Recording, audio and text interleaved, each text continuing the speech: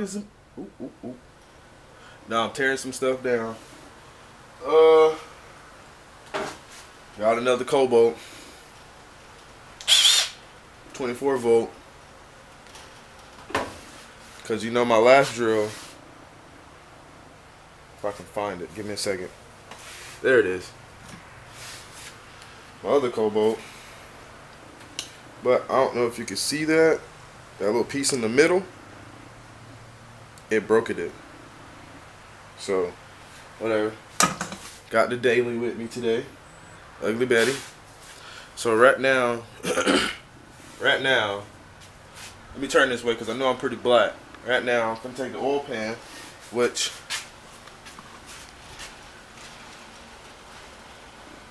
Uh, is that gonna brighten up? There we go. I just redid the front crank seal gaskets, gasket and seal. So now I'm about to slap this oil, slap this oil upon on the motor, and then get to the rear main seal. Let me get right back at you boys. All right, let's try this again. Cause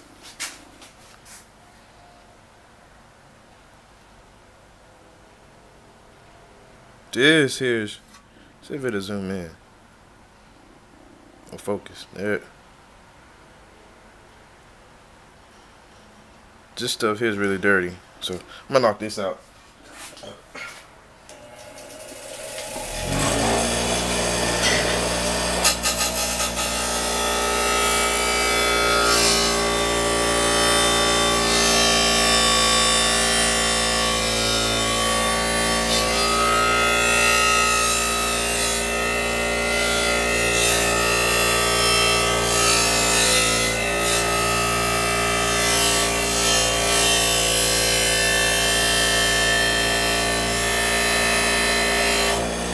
Want to go nice and slow and take your time.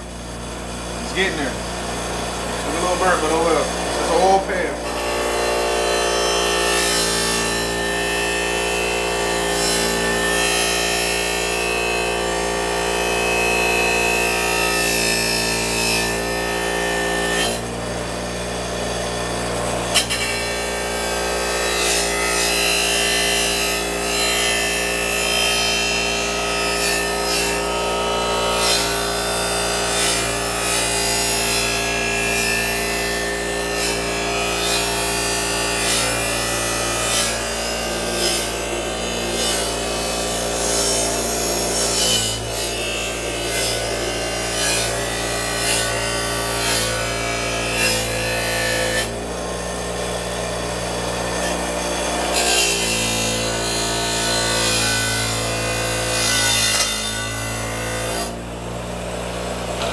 Oh man.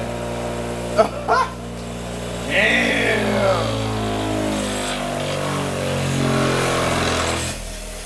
See if you guys can see that. Right where my thumb is at. And I happen to hit this grinding block. Oh! Such a smart, perfect, smooth finish. Like we're gonna send it. We're gonna take it on up through there. Like.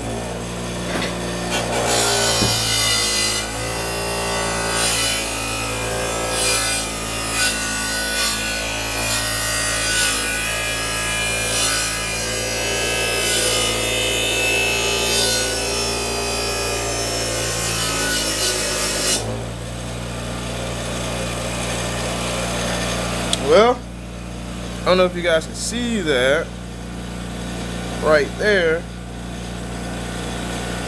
It's gone.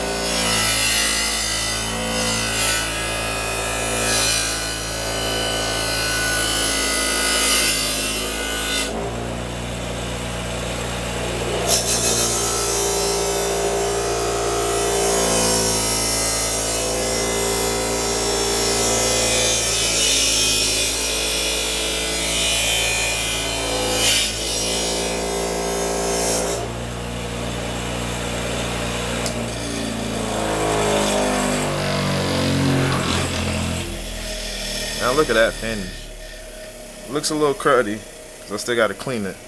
But compared to what it did look like, like look at that. Oil pan is ready.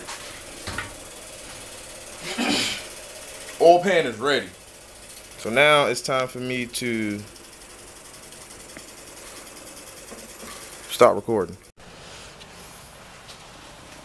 So, the oil pan is now on. So now the timely process of me dropping these bolts in here and getting a few cranks.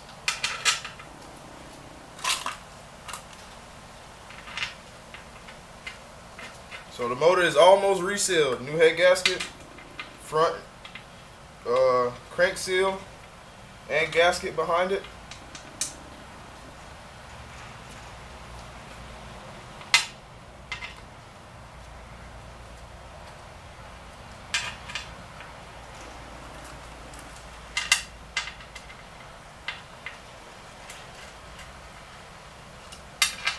New oil pan gasket, and I actually took the oil pump apart, the screen and the cap, and actually really cleaned it. Oh wow. I didn't see that. And actually really cleaned it because it had some crud in it. Took some brake cleaner, sprayed in the uh, actual tube that shoots up the block, and spun it. So I got all the little crud out there. There was quite some crud in there, I'm not gonna lie. And I could have did a better job at cleaning this oil pan, but it's an oil pan. Who sees oil pans anyways?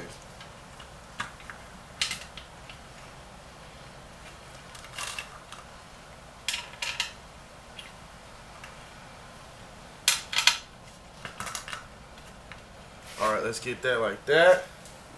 Grab me something to clean these hands. Hands, hands. My extension. Get my thing on on. Another Kobalt. 24 volt, 24 uh, volts max. When I tell you this can bust a crank bolt off, no problem with a full charge. Believe me.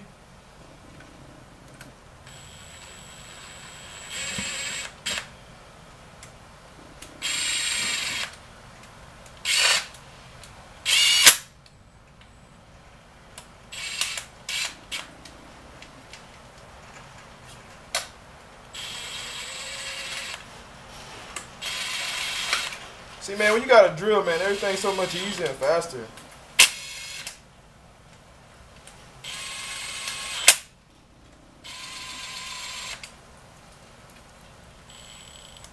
Uh-oh. Alright. I'm going to do that by hand. I was actually thinking about taking this, uh, taking this drill back, honestly. So I didn't want to spend the money, but see my first mistake that I made.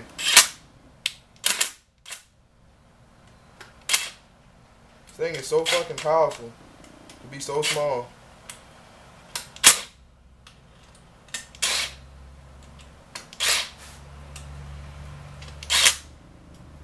And it's fast as hell too. Like it has no problem knocking anything off. That's the reason why my other drill's broken because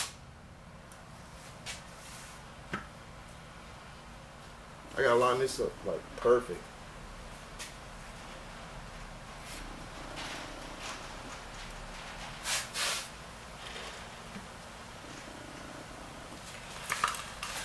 Drop more of these bolts in here, man, because I feel like I'm taking too long.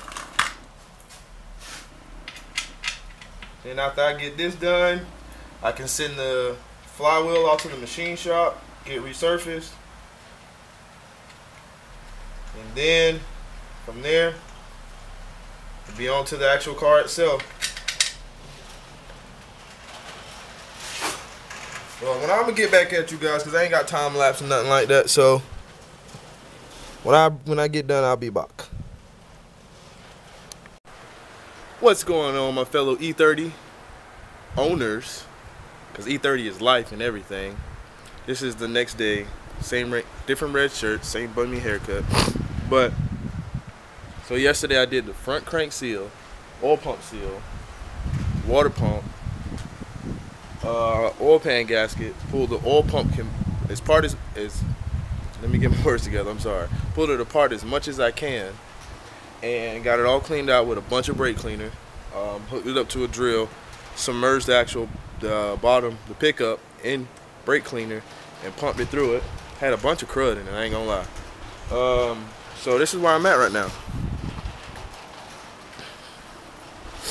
Got the oil pan done. It's a little oily because it was still a little bit oil. And I got the rear ring seal done and the gasket behind it. Oil pan gasket done. Front crank seal done, which is pretty easy. Haven't set the timing yet. Excuse the wind.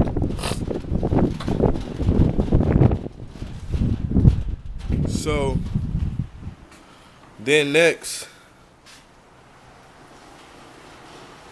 next is gonna be the inside of this thing. And the one thing that scares me the most is my power distribution block. I pulled it apart and I don't know what I did with all the bits and pieces. yeah. So I'm gonna get this motor all buttoned up. And um, yeah, get it done. So, like I said yesterday, scenes, scenes, scenes, scenes. I don't have time lapse, so I'll get back at you boys. Progress update. What have I done? What have I accomplished? What did I mess up? I can't tell you that quite yet. but I did get this done. I got the heads torqued down to 75 foot-pounds. Got all the timing marks lined up. Timing mark is... Uh, that's super bright. Timing mark is here. And the other timing mark is here. I mean, it's off by like a millimeter, but once the slack get taken out, it'll tighten up. It ain't a pretty, it ain't pretty because I ain't been able to super wash it, but it's all together. You know, I got all this mess to clean up. But this is end of the day for me because I need to go home to go get my oldest from school. So